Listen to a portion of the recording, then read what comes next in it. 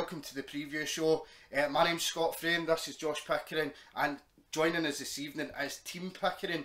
Part of the Pickering team is Stephen Lumsden. Uh, we're going to be previewing the Parsons Peebles Monarchs match against the Berwick Bandits this Friday at Armadale Stadium.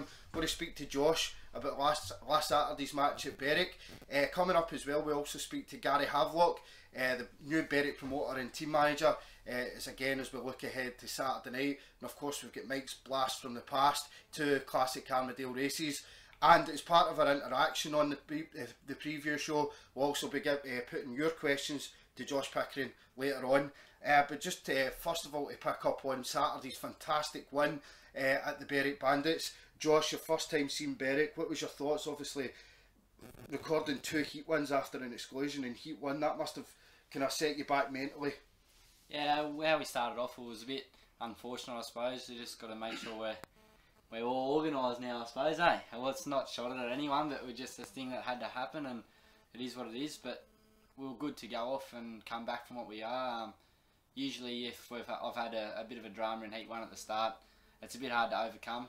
But um, I think we've done it not too bad at all. So. Good stuff, Stephen. Obviously, you've seen you've seen guys make their debut at Berwick for the Monarchs and they've struggled. What, what were your initial thoughts of Josh?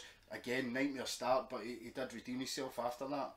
Yeah, I mean, to be honest, I knew I knew it would go well. He's, he's a he's a good motorcyclist. Um, we've watched a few videos. We, we tried to go down, but I didn't imagine that he'd be he'd be winning two heats after that. But after his first ride, in my opinion, he had a you know a couple of warm up laps, if you want to call it that.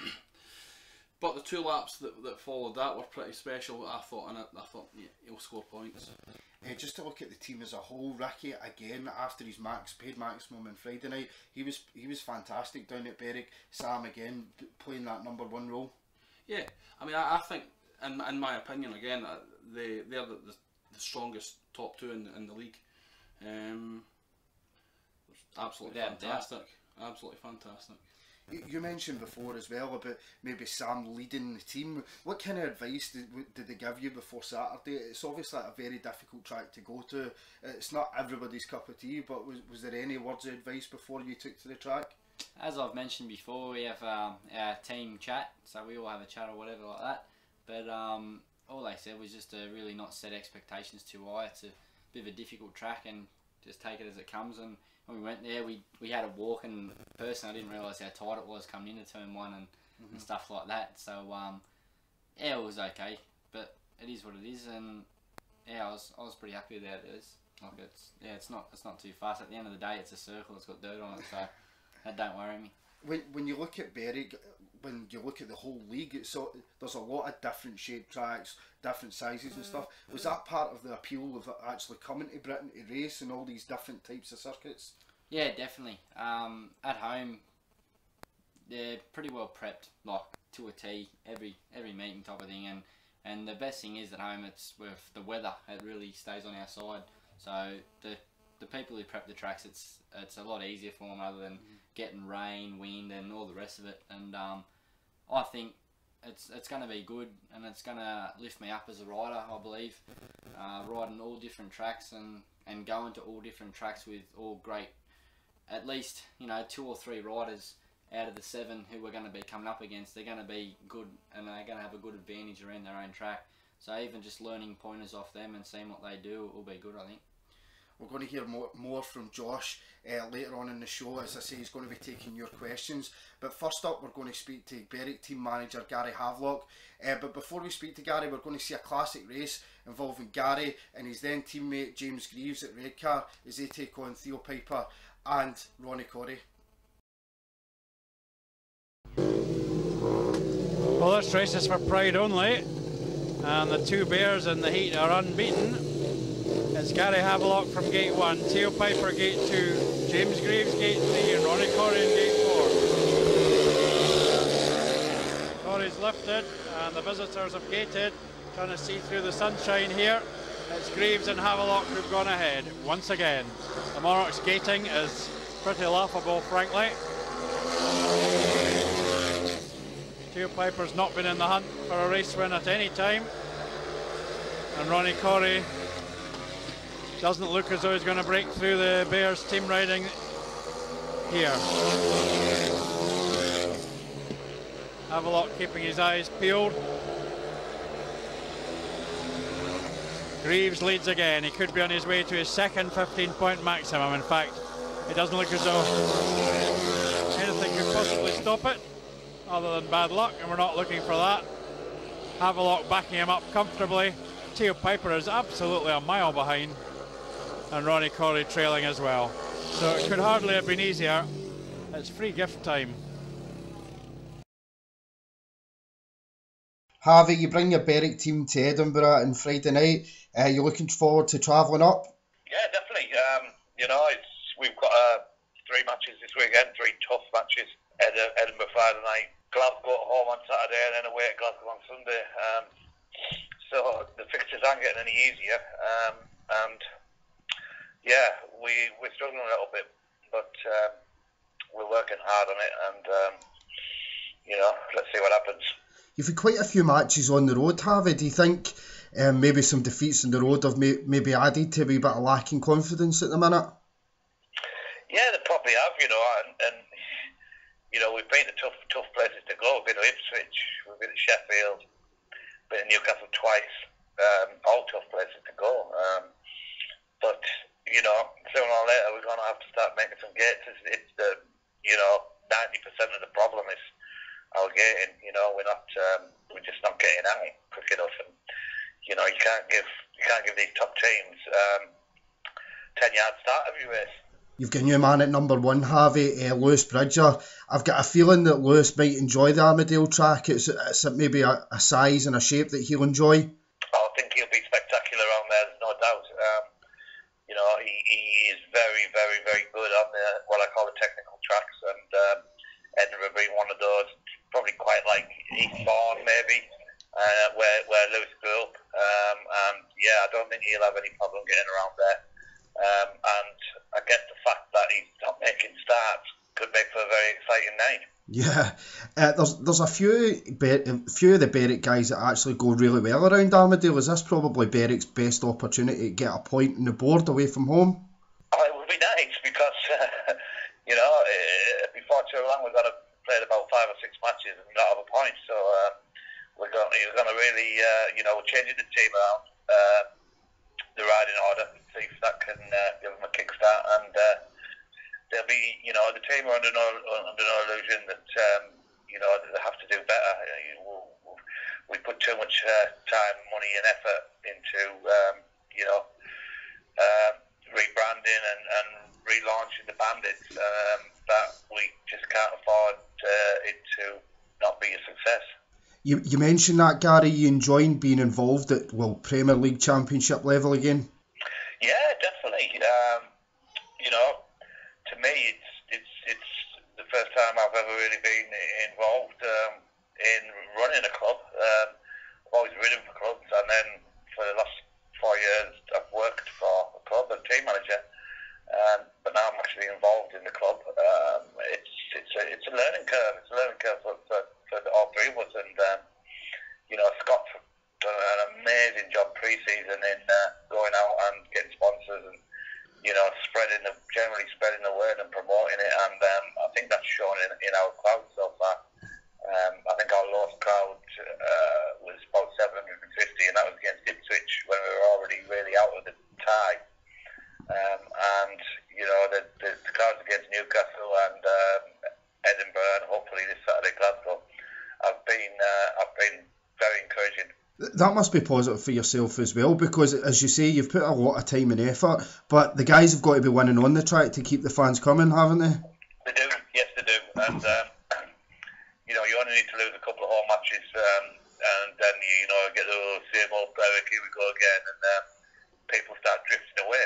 You know, we managed to beat Ipswich in the in the cup, which is a bit irrelevant, but beating a really good team, um, you know, was, was a good fillip for us. But then uh, Edinburgh came last Friday and just just schooled us out the start. So simple as that. We couldn't we couldn't buy a start to save our lives, and uh, you know it's not going to get any easier. So we really need to um, pack our trapping gloves.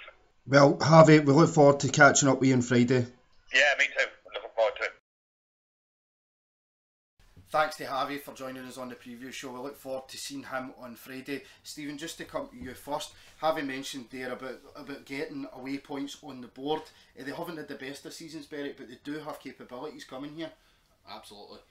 Um, one of the words that he used to describe Lewis Bridger was spectacular, and I think that that's exactly what, what we'll see. I mean, he's a small track specialist, having been, you know, reared, if you want to call it that, in, in Eastbourne and in Lakeside. So, looking forward to seeing him here. I think it's probably long overdue, to be honest. Um, but yeah, really looking forward to seeing him. Uh, Lewis had a great race with the Riss brothers and Saturday night really showed his capabilities on a track that wasn't maybe too easy to pass on. He made it look very easy in that heat. That's the kind of thing that we can look forward to seeing on Friday, isn't it? Yeah, absolutely. Absolutely. Uh, of course, Liam Carr, a former monarch, so to speak, he did come in and do a job for us back in 2013. If I remember right, uh, Liam actually got the fastest time in the Premier League final away down at Summer, at Somerset all those years ago as a, as a raw teenager, so to speak. But Liam can come here and score points as well. And of course, as Javi says, they're mixing the riding order up for Friday, so that, that maybe could work for him. I mean, I, th- I think he, he scored zero here in, in, on his last visit, but that that'll count for nothing. Um, Liam will know that. I'm sure he'll want to, to do much better himself. Um, yeah, and another good rider on his day round Armadale. So We're looking at Dany Gappmaier as well, a bit like Mark Riss, Stephen, where uh, B- Berwick are kind of relying on Mark, uh, Danny to score a lot of points. Uh, do you think that Dany Gappmaier's got the capability of scoring the points around here, especially against Mark? yeah, I, I mean, I must admit, I was I was I was quite impressed with Danny on Saturday night. I, I, it was not I hadn't seen much of him before, um, but yeah, young kid, raw talent. I think I think he's got a real chance in the sport. So.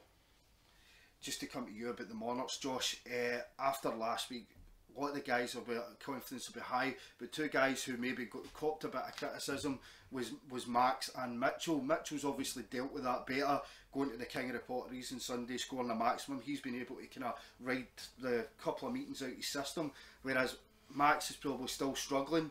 Uh, what what you saying one another? Obviously, you said you've got your group chat. Is there any chat about trying to get Max's head up, trying to get him going uh, in the the championship? At the end of the day, mate, we're all just human beings, and um, people go through tough times. It mightn't. It could be just this ride, and it could be something at home. You, you don't know, and um, not everyone's perfect, and not everyone can perform perfect every week.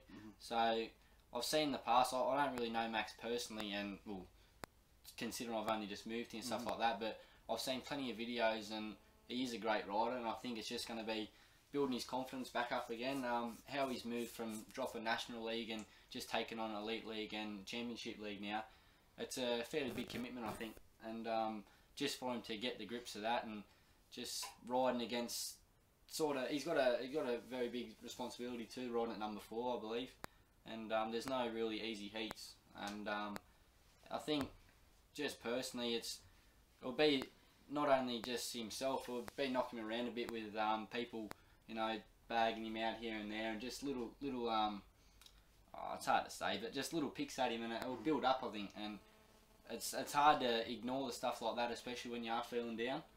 And but um, I believe if he if he can get his head right, and yeah, with the boys that we've got with us, we're all you know we're all getting on very well considering we haven't really been with each other for so long, and um, yeah, I, I reckon he'll be all right. To be honest with you.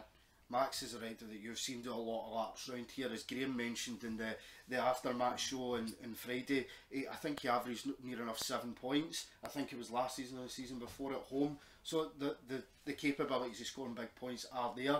It's just a matter of getting them confident, isn't it? And the fans have got to get behind him as well. I know you copped a bit of criticism, but the, the fans have got to play their part in trying to get him going. Absolutely. I mean, I, I know that he's made quite a quite a, a big investment in his machinery. He, he wouldn't do that if he didn't care. Um, he cares greatly. We, we know that. We see it. Um, we see him every every meeting. Um, I I think you'd be hard hard pressed to find a rider that had passed more people around Armadale in the past couple of years than Max. You know, he's, he's very impressive when he gets going around there. So he'll quite he'll undoubtedly come good. Undoubtedly. It's a long season. Oh, it's Yeah. a long season we're talking. We've Yeah, only two couple, matches, of, another couple of meetings in, at and you're taking some criticism. It must be kind of difficult to kind of deal with that as well, no matter where your head's at. Uh, just to speak about Mitchell, Josh, how important do you think, or how much of a good thing do you think it is that Mitchell had that, no matter who you're racing against, winning, Yeah, exactly winning right. breeds confidence. Confidence breeds winning, doesn't it? One hand only- the other. you can only beat the people he's up against. Ah. And um, for him to ride a 15 point max, he's obviously didn't make a mistake. Mhm. You know what I mean? Like, he's um, and I, we went out for dinner the other night, and you could see him himself. He was a lot happier. Ah. So um, having a few tough meetings at even at home before it's now my job, but um, Ah. at home, if I had a bad meeting, I'd feel real down on myself. But if I went and just done any other meeting and scored some points and you, you get that buzz back, like you can do it and you can win races, and it feels a lot better winning races than going home with a dirty bike. So um, yeah, I believe that that's definitely helped him, and we'll just see on Friday night how much it's, it actually has picked him up. Just to speak about Mark Riss again at reserve, Stephen, how crucial is it that he has another good night, especially maybe if another couple of riders aren't kind of performing to the level that they would want to? Yeah, absolutely. The reserve berth is is absolutely crucial to, to, to every meeting, I guess. Um, Mark himself is an outstanding rider. I, I'm amazed that he's, he's at reserve. It's, it's Monarch's good fortune, I guess. Um, yeah, crucial. First of all, thank you to everyone who took the time to leave a question for Josh. We're going to get through as many of these as we possibly can, but the first question we're going to come to is from Liam Carline. It's which current championship rider is, uh, is Josh most looking forward to coming up against? Um, personally, I like a bit of a mate rivalry, and I've got two of my mates from home, uh, Ty Proctor and Mason, riding for Worky, so I look forward to coming up against them, and yeah, just to see some familiar faces around, and hopefully turn them smiles upside down, to be honest with you. But yeah, and it'll all be in good fate, so um, yeah, I'm looking forward to Worky match. Uh, Jimmy Scott asked, how, do you, how did you feel last week, Josh, when you were standing celebrating in front of the Monarch support after your first uh, first race win? A bit relieved, actually. um, the first race actually in Scottish Opens, we've gone back to it a couple of times. uh-huh. I still haven't quite come to grips with it, what I've done, and I've, I've watched it a fair few times, and it still makes me angry every time I watch it. So um, yeah, I was, I was fairly happy that it got got to happen, and I just wanted to show the fans, I suppose, that I'm not here to muck around, and hopefully there's going to be a lot more of that. Scott Gabwood asked, were you surprised how well you took to the Berwick track?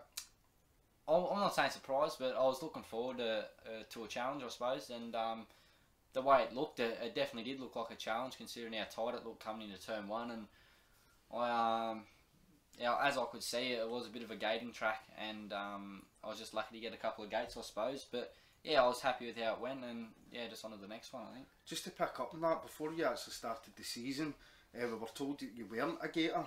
But Yeah. for the evidence that we've actually seen for his very first heat in, in British Speedway, you can make some good starts. Yeah, I suppose the more of the adrenaline. I think you can um, now that I'm not just doing 50 hours work a week, then working on bikes, and then traveling nine hours to then race. Um, all I got to do was just worry about prepping me bikes here, ride me bikes on Friday or, or this week Friday, and and then the following was Friday and Sunday. But um, I think just all my effort and time's just been on bike prep and stuff like that. So I know that when I go, everything should work how I want it to work. So um, I think it's more of a learning thing with how my bikes are setting up and a few tips off a couple of boys have just clutched it up. Um, Fricke helped me out a fair bit, so yeah, it's just it's good to try new things and it's all positive so far. So hopefully just get it out a bit quicker. Gary Rogers has asked a question that I, I, I like as well. Uh, does Josh and any other boys have a pre-meeting ritual, like something daft they always like to do before the start of every meeting? I love a good sleeping for a start. Steve, I'll tell you that. But um, yeah, I, like having bacon and eggs for breakfast. Right. And if Gemma's going to put a feed on before the meeting, I don't mind eating pasta either. But um, I wouldn't say anything silly. I just, just, just go about your day normal. You um, you don't ride until seven thirty, so you got all day to do whatever you want, type of thing. So, been playing a bit of PlayStation and getting a bit excited there. But yeah, just nothing really. Just, just same as I think. Mhm. Treat as any other normal day. Uh, Scott Somerville asked, he's asked a few we're going to get through. Uh, are there any existing or previous Speedway riders that have inspired you to compete in Speedway? Start off with Jason. Um, well, Crumpy's three-time world champion, and from where he come to where he's in the sport now, he's um, yeah, he's he's developed it a lot, I think, and he's inspired a lot of Australian riders, and you can't put it past CH either. Like um, Chris winning the winning the world title in 2012, and he's on form again now, so hopefully something can come about there again. But Doyley, it's just it's hard, mate. Like there's so many, and there's so many that live close to home as well. So not only are they I look up to them, but they're all mates as well. Yeah. So yeah, it will be good to hopefully have a name like theirs one day, and people talk about me in the sense that I talk about them. So that's what I'm looking forward to. Uh, Scott's followed up with your recent trip to Denmark uh, to build bikes. What's your thoughts on potentially competing in Europe? Yeah, I, I didn't mind it. It was a bit colder than here to be honest with you, wasn't it? Snowing and whatnot, but um, yeah, we had a look at Ultra, and that's the track we went to. Eh? Yeah. yeah, had a look at Ultra, and then yeah, spent a few days with Christian and at KLS building the bikes up like you said, and yeah, I, I don't care where I ride, mate. I just I like to stay on the bike as much as possible, and hopefully if I um can improve my form from what I'm doing and get a lot more consistent, then yeah, anything can happen. We've only done two meetings in the UK, so only time will tell. But yeah, if um, have a good season, then yeah, there's no reason I wouldn't be looking to venture out that way for the next years. Uh, Fiona Capsas, were, were Edinburgh the only UK team to try and sign you? No, they wasn't. But um, looking, I've, I've mentioned a couple of times, but looking in the past and looking at videos and, and hearing the stories when the boys come home that about um, not really wanting to go to Edinburgh because it's a bit of a tough track. I thought, oh well, there you go. If you can, if I could ride for them and get a good home advantage, then Mhm. it's um, yeah, it would, like exactly it. Like uh, it would be good to have a home advantage, and I don't mind a challenge, so it'd be good to take on something that no one else can really do. Uh, one thing that Keith Lamont's picked up on is something that people have picked up on in the past is the fact that number two riders are actually finished their meeting by heat 10. Uh, you've got four four races in the space of that time, I think he's getting at. Does, does that add to the pressure during the meeting that everything's got to go that bit quicker? Well, personally, um, I can't really say. Steve O, he's he's got a different different uh, comment for sure. But me coming Having, to having been a mechanic that's mechanic for somebody that's rode at number two, I can Yeah. actually get pressure. well, all I can say is that I don't know no different. So um, I've come here, and as far as I'm concerned, that's just what I have to do, and we just have to get things done. But if I rode at a different number where it was more evenly spread out to then going to number 2 I would realise myself how much I have. I mean, I am under the pump. But being as oh, that's all I know, then Yeah. that's, that's all I know. So it doesn't really worry me. But yes, Plus, there's not many. track, track changes as well. uh, Like you, would maybe see how the track changes the between best, yeah, the later best. on in the night. like you said, track changes. Um, the best thing is, of course, we're always out. The Mm. track doesn't change too much, but say if you were to go out and heat, like Sam the other night, he rode heat five and then heat 11 Mm-hmm. But um, there's a there's a big difference there, and there's a few track grades, so there could be a little little bit different um, moisture coming through or anything, mate. Mm-hmm. So I believe the more times you're on the track, the quicker it is, the more consistent it is for you, and the more at home you feel, I suppose. But um, Is it maybe a shock to the system as well? I know in Australia they like to maybe have the meetings kind of dragged out a wee bit longer, maybe junior racing, sidecar racing Yeah. involved. Is it maybe a shock to the system how quickly they get through the meetings here?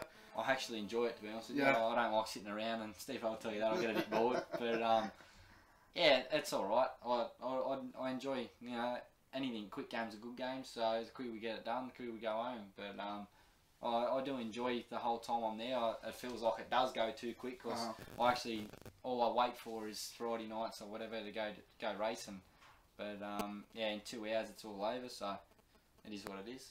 Uh, Scott Somerville again, his last question. Which engines and frames do you use and why? I run the Stewart frames. To be honest with you, I'm literally, it might sound silly, but I've tried something that I've never really tried before. And Max Fricke's never, hasn't really made a bad decision yet, has he? So um, he's one of my good mates, and I just asked him what he runs. So my bikes are built exactly the same as his. Right. So that's that could be the reason why it's helped me out. But um, yeah, in engines, I've got uh, Brian Karger engine I bought last year, and then um, also last year we bought just a standard kit engine. And my engine builder back home, Mark Penfold, he um, worked his magic there, and that was the first time I raced it at Berwick, and it seems to go very very good. So I'm going to ride that again on Friday night and hopefully score a few points. Good man. Uh, a question for Ian Adam here, of course. Ian with his Glasgow connections had to bring this up. Uh, could you ask Josh if he's looking forward to racing at Scotland's finest Speedway Stadium in a couple of weeks? Yeah, I'm looking forward to it. I suppose um, I've I've been there a couple of times. We're going again on Sunday just to have a look, and um, it don't seem too much of a passing track. Is that what I've seen? We went there for the bend fun. It was a bit wetter and there was a bit of a dirt line, but um, the league match, the first league match was pretty slick, and whoever got the gate really won, I think. But um, yeah, we'll see how it goes, and it looks a fun track, and yeah, I look forward to going there. Uh, Alan Houston's asked, uh, basically in a nutshell, is, is British Speedway everything that you expected it to be? I know you're only two weeks in, but is it everything you expected it to be? Yeah, it's, it's hard to say. The looking at my calendar and me being my first year, and like next week I ride Friday and Sunday, then the following week I ride Thursday, Friday, Saturday. Mhm.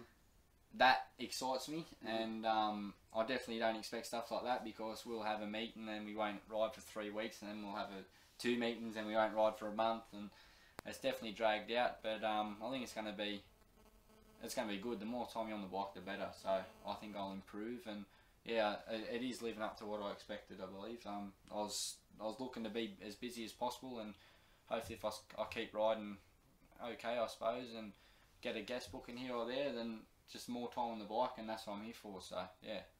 Uh, Chris Black's got a two part question. The first part is Is there anything that you could bring over home, from home that uh, that would make a tiny bit of better living here? I miss me dog Pablo. Eh? Brooke would agree with me that one, and I spent a bit of time with Poppy, Steve-O's dog. Just yeah, it's, yeah, I'll miss me furry mate, that's for sure. But um, yeah, it is what it is, and I'll just look forward to seeing him in eight months, I suppose. Uh, he's also asked, Do you think riding all winter in Australia has helped you settle into British Speedway a bit quicker? I think the um, finishing off the our summer, your winter, um, all the boys from here that race over here go home and compete in the Aussie series. So there wasn't really an easy meeting I competed in, Mhm. which I believe picked me confidence up a fair bit and not going to a, a race going, oh, I'm, I'm racing against him or I'm racing against him. Now I'm not even looking at it. I just ask Steve what helmet colour I am, and we just go from there. And if we come out in front, we come out in front. If not, just another rider beat me. Mhm. But um, yeah, I'm not. The biggest thing in speedway, it's it's a mental game, and Greg Hancock's mentioned it a a lot of times. It is a it is a mental game, and um, the calmer you can be, and you don't really care who you're up against. I think it's going to be better off for me. But um, yeah, Uh, Michael Purvis brings up something that we've heard a lot about, even this early in the season. It's about tyres. Uh, there's been a, there's been discussion about the new tyres being used this year. How have you found both the tyres and the tracks you've ridden on so far compared to back home?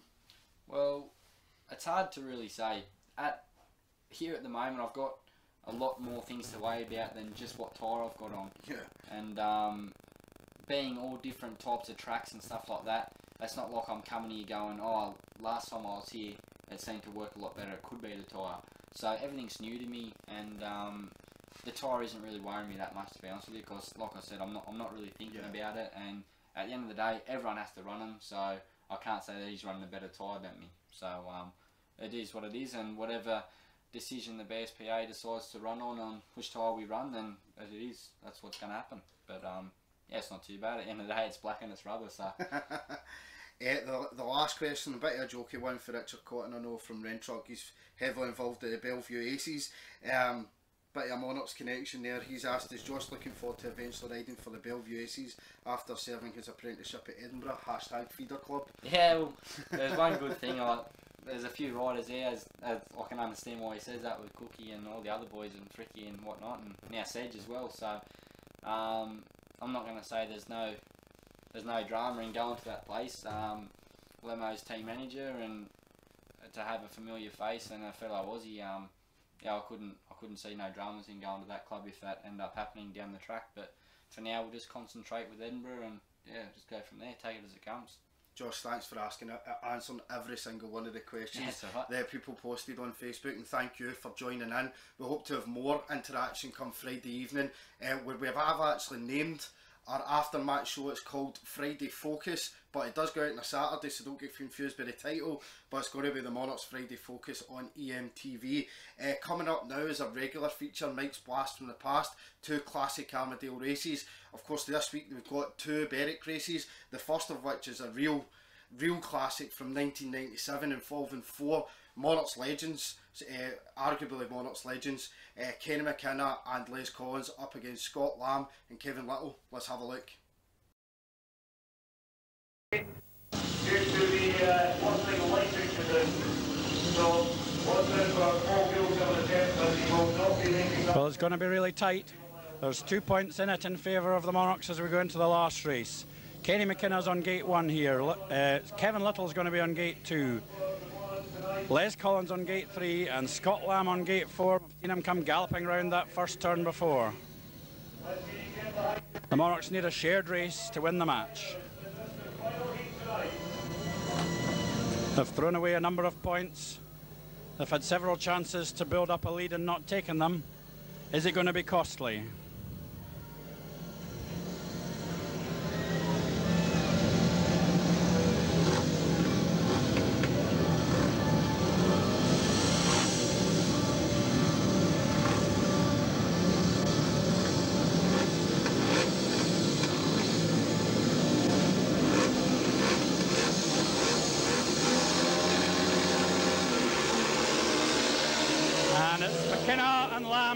Turn.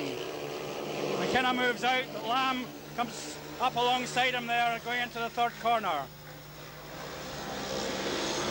It's so tight. McKinna forces his way back to the front again, but Kevin Little's coming up his inside. McKinna's gone ahead. What a storming race. McKinna out to the fence. Little right there with them.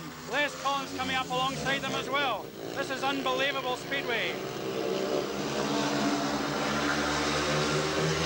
McKinna's inches ahead, but he's going so wide and Little's right on that line. Little's gone through.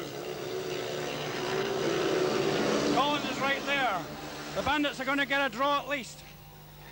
McKinna steams into that last corner. Here comes Les Collins.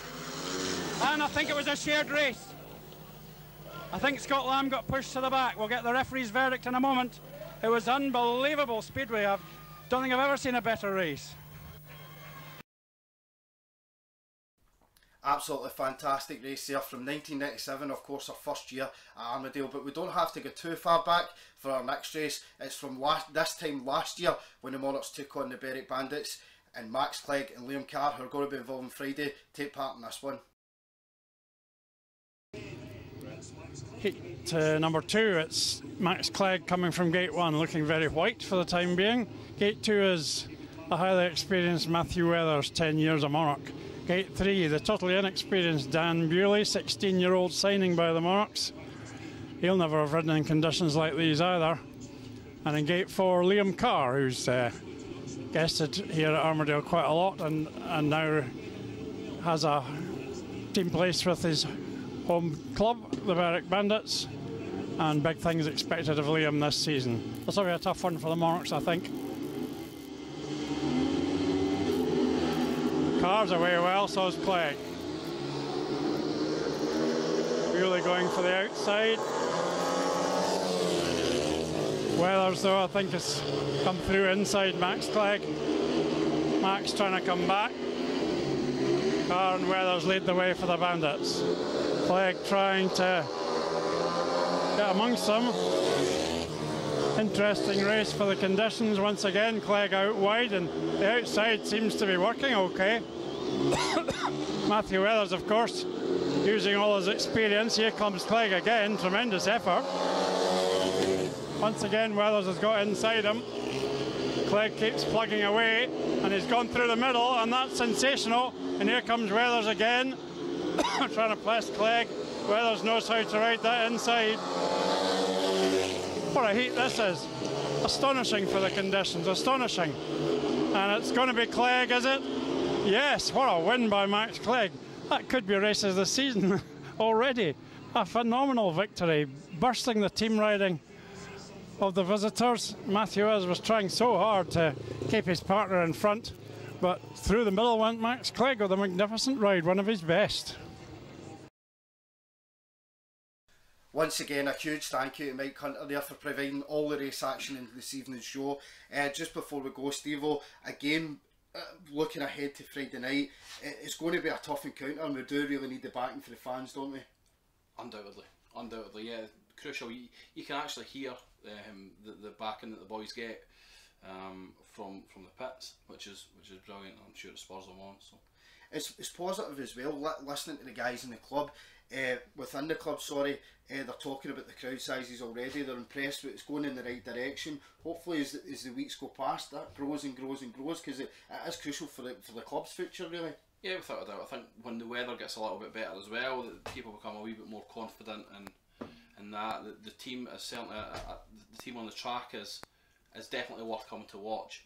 You know, Sam Masters, Josh, Ricky, to name just three are are fantastic riders. Definitely worth coming coming to watch. Definitely worth coming to watch on Friday. And don't forget, you can get your you can buy your tickets on the Edinburgh website. So head over to there once you've watched this show. Uh, again, Lewis Bridger, he's the man to watch this week. He'll be absolutely brilliant around Armadale. I'm absolutely convinced, and it's a crucial championship clash. Can the Monarchs make it three wins in a row? We'll see Friday. Thank you very much.